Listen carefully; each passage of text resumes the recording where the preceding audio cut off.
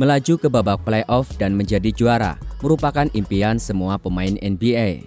Namun untuk meraihnya mereka harus melewati babak setiap laga di babak playoff yang tentunya tidak mudah. Bahkan para pemain yang punya banyak gelar juara pun ternyata sering kali mengalami kekalahan di pertandingan playoff. Berikut ini 10 pemain yang paling sering kalah di babak playoff NBA. Pemain asal Argentina Manu Ginobili tercatat pernah 83 kali mengalami kekalahan ketika bertanding di babak playoff.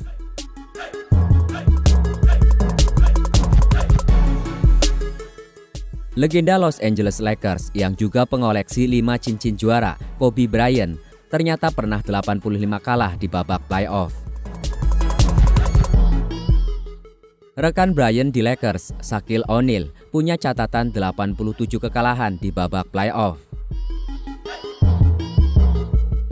Robert Horry yang juga punya tujuh gelar juara NBA pernah merasakan 89 kekalahan di babak playoff.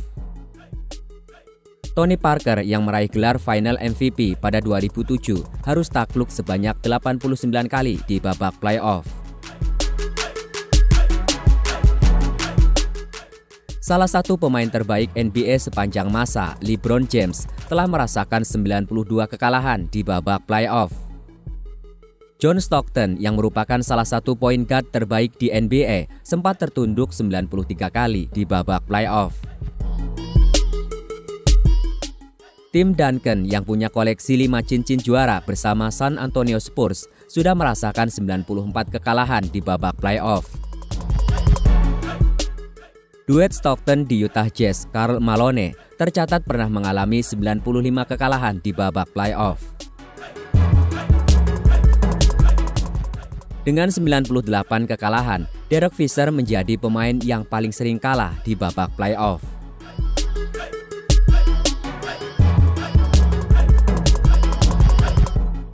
Meskipun para pemain tersebut banyak merupakan pemain bintang dan sering menjuarai NBA, namun mereka ternyata juga cukup banyak merasakan kekalahan ketika berlaga di babak playoff.